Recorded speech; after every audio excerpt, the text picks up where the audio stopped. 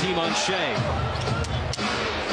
Inside-out game. Dort did not want to take it in. Isaiah Joe will. Fires it down underneath. Chet Holmgren puts it up and in with a dunk. Yeah. Dort forced him off the three-point line. Almost a steal. There's the deflection by J-Dub. And OKC down by two. Shai underneath, fading away over Town.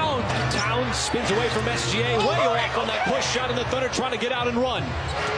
Shai put his head down, and that's going to be an and one. He got bumped by Conley, and Edwards might have tipped it in.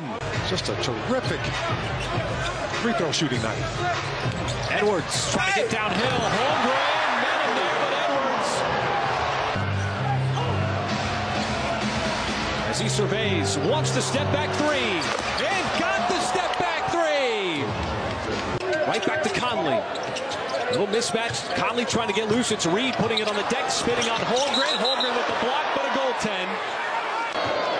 So big free throws here. Minnesota is going to have to go the length of the floor. And that makes it a two. The, dynamic, the dynamics change on what the Timberwolves are trying to do here.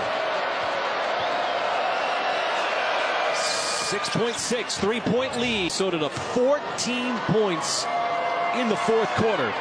Turning the tables on what Minnesota did in the third. The crowd hitting the exits, and Oklahoma City hitting the win column yet again.